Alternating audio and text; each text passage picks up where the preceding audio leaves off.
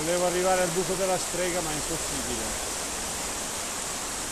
È veramente impossibile. Peccato.